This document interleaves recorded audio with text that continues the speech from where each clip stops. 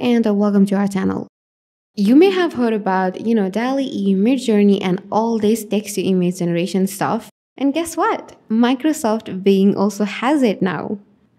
It is available to the users of Bing and Edge on both mobile and desktop, and it is powered by an advanced version of the DALL-E model from OpenAI, so you know it's gonna be cool.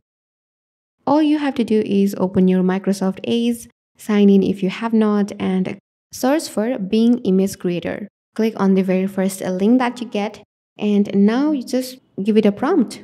The more descriptive it is, the better the result will be.